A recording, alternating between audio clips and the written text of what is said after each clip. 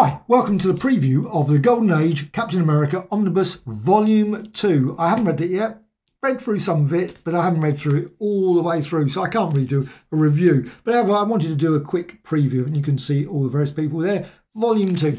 Hopefully there will be a Volume 3, Volume 4, etc. Who knows? I suppose if it sells well, there will be. I think all these have been reprinted over the years in like Marvel Masterworks, etc., various other volumes as well. So uh, obviously the volume three might be a bit more tricky because material is it available, readily available. However, what's it got in it? You can see the covers there, and it's Captain America comics issue number 13 all the way through to 24. I absolutely loved volume one, but that was of course Kirby, etc. The artists are slightly different in this, and you can see Al Avison that's how you say his name, Avison, and Syd Shores as well, and Don Rico. Seems Stan Lee did quite a bit of the writing. However, let's just go through. I'm just going to take this off because I always find it tricky to go through these with the cover on. So just move that.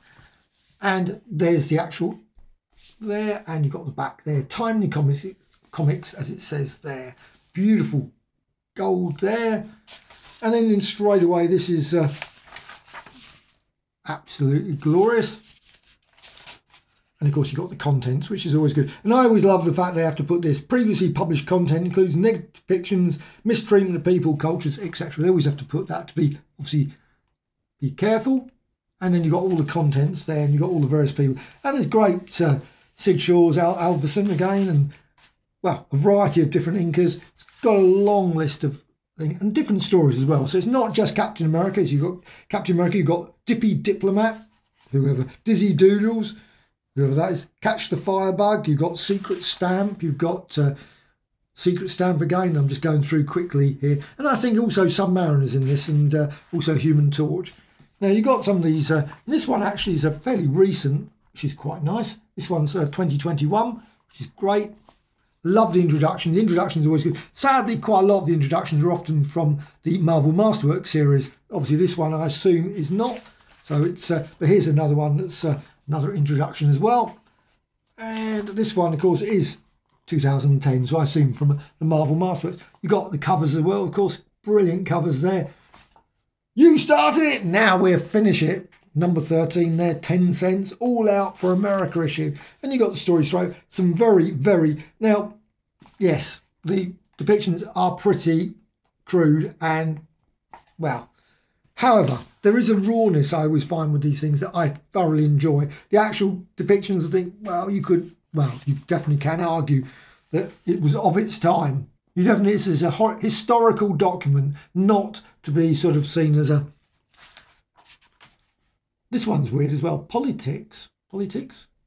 I wonder if that was politics or no idea. Very strange story. And they did quite a lot of these ones.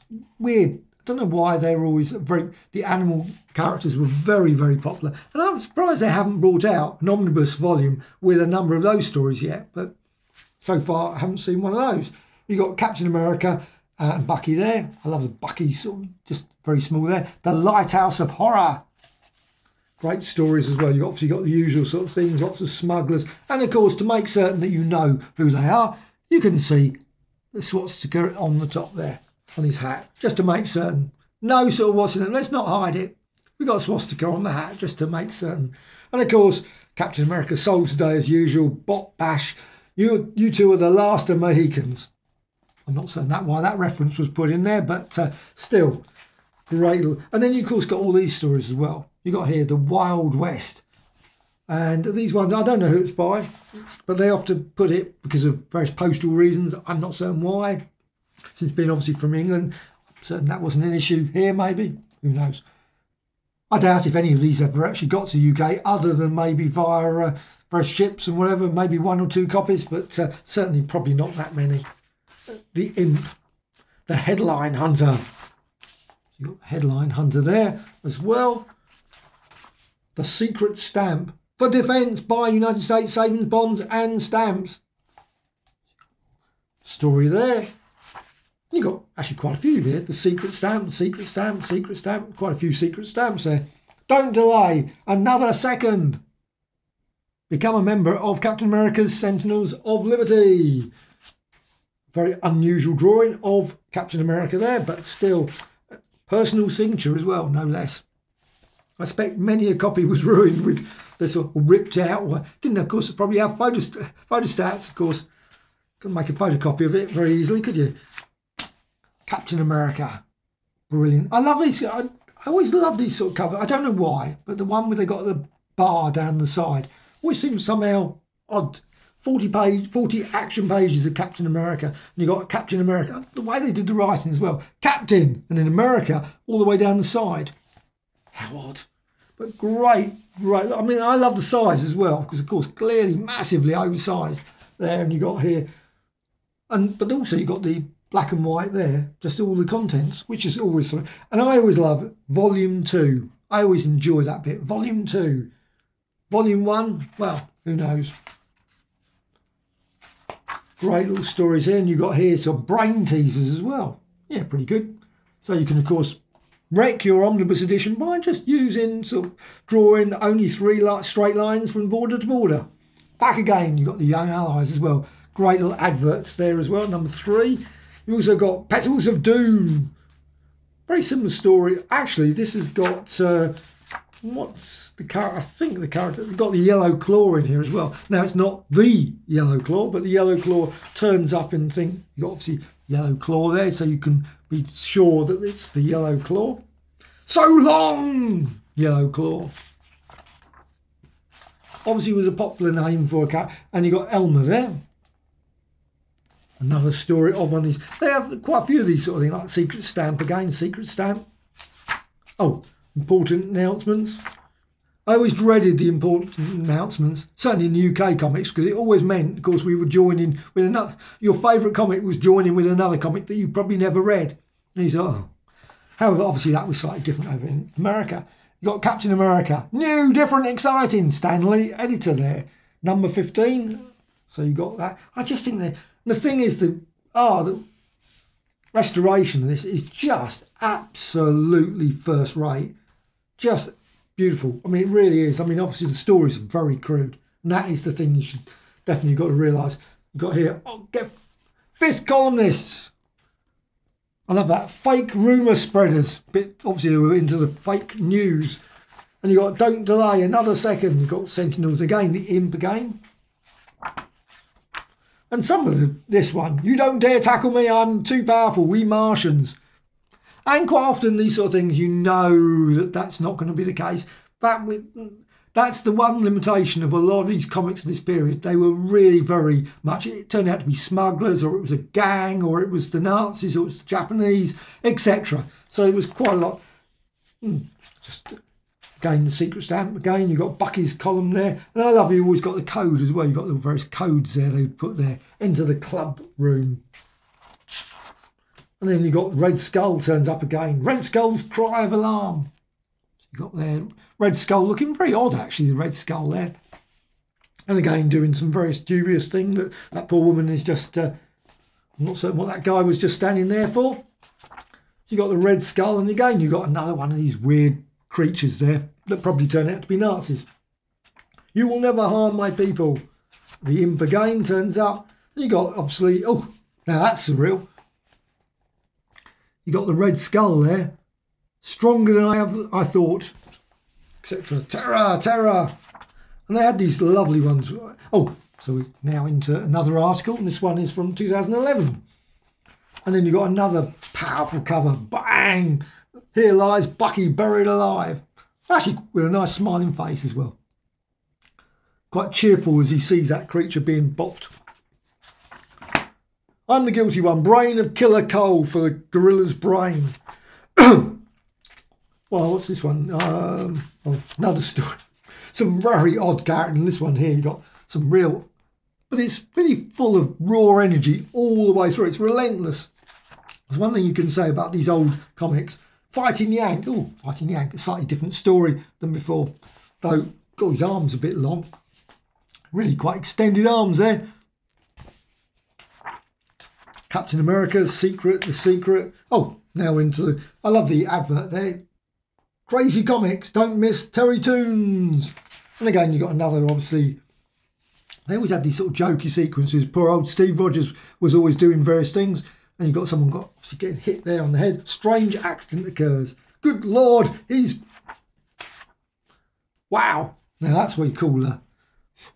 That's you wouldn't get these sort of things. That's the thing I love about these. I mean, it's just there is an energy, a sort of rawness that you just would never ever see anything like that. Maybe, perhaps, probably for the best, but wow, really, and she's stuck there. Obviously, going to be a slightly a bit of a problem there. And the Human Torch, Human Torch gets in here as well. And again, some obviously very intense sort of. Uh, and obviously, poor old Toro is uh, got a bit of the vine of evil beauty. Another one of these little articles, stories. Hey, Yahoo! You obviously got uh, Steve there. Again, some very strange bits in this. Oh, Dippy Diplomat. That really looks very odd. Guy Blythe, very strange. That is very odd artwork. Quite surreal artwork, actually. Very strange. The clammy things, the case of the clam. They often did quite a lot of these sort of things, the case of. And sometimes they even put like case numbers as well. Back in the early days, it was like case numbers. Note to reader, if you're afraid of action and heart-stopping horror, we advise you not to read the following tale. Well, I've just spent me 10 cents on it. I'm going to read it. Or just straight away then. Why bother? Of course I would read it. And you got this one here, the Creeper, by the President himself. And it's just, wow. Again, Human Torch, again, the Cobra Strikes or Cobra. And also you've got some lovely adverts there. America's funniest three, apparently. Crazy Comics, Terry Toons and Comedy Comics. Excellent stuff. Again, I would love to see an omnibus edition of these, or maybe some sort of epic collection book. That would be brilliant. The artwork actually does change quite dramatically at times. You've got some that's really quite... Yeah, I can't replace it sometimes. The inking is very strange. This one, 50, Oh, well, I'm gaining another brilliant cover there as well. I mean, the colours, everything just bounces off the page. It's just absolutely superb. Again, Human Torch. Oh, I'm sleepy, he says there. Yeah, probably not a good idea to be on a train as the driver and being a bit sleepy there. Captain America versus the Cobra Ring of Death. No less. However, statement of ownership, it's 1942, this one, you've got all the variety. Oh, Martin Goodman. Game poor old Martin Goodman. Always uh, sadly. However, another brilliant. Oh, look at that. Just superb cover again. And you go all the way through there. You, actually, I was thinking Red Skull turns up a few more times than that, but he doesn't. It's not that many stories with the Red Skull. Uh, this one, Captain. Oh, look. It was varying the sort of banner as well. Captain America, that's really weird. Captain America written with Captain and America like that. You've got Bucky there. Obviously in a bit of a perilous state, I would say. At that point, woman, aren't thou ready for the test? I probably don't think so. And then we're on to the next story. The Black Dragon Society. And this is just, hmm, that doesn't look very good. And again, good heavens, some great, just the artwork is just absolutely brilliant. No one would buy it now, I'm quite certain. Obviously, other than for historical reasons looking at this book, but you know, if you saw a magazine that was like this, you'd go, hmm. And again, Human Torch, you've got the Mac Monument Murder, no less. And then more Captain America. Yahoo! It was always Yahoo. Very strange. Was that a popular expression? Yahoo! And then all the way through. Again, this is very odd. That artwork is very strange. The Dippy, Dippy Diplomat. Very odd. Very odd artwork. Unfortunately, it doesn't have much bonus material. We're talking very limited bonus material. Literally two pages. One page, actually. So you've got just a little bit here. True Golden Age rarity. And it's got obviously the uh, Canadian version. And also uh, House Ad. And also Kid Comics. No, it's a pity there's not a little bit more than that. But what a brilliant thing. Now, I expect lots of people turn around and say, what sort of there? So you can just see it. You can see the spine. You can see the binding. Yeah. Ooh, get it right. So you can see it there. Well, I must admit, I loved it. Um, obviously, I haven't read it yet all the way through, but I've gone through reading some of the stories and they're good. I think they're just enjoyable, but they are definitely, definitely of their time. If you're coming to it, sort of, they are quite crude, quite vicious, quite odd, and and also obviously depictions are pretty intense. So uh, definitely be aware of that if you're going to get this book. Uh, also, there was a weird imperfection there. There, I actually had to snip away the pages. There were about four pages stuck together. Most annoying that, but anyway, that does happen in books, and uh, it's what can you do? So, Golden Age Captain America Omnibus Volume 2. Well, thoroughly enjoyable.